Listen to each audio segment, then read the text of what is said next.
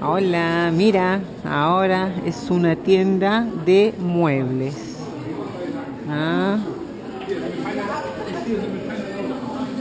Video especialmente hecho para Tom.